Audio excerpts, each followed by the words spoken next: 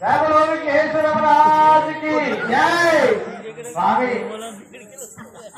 నీ పేరేంటో తెలిపండి నా మొక్కమంత తప్పకుండా ఎండబడుతున్నారు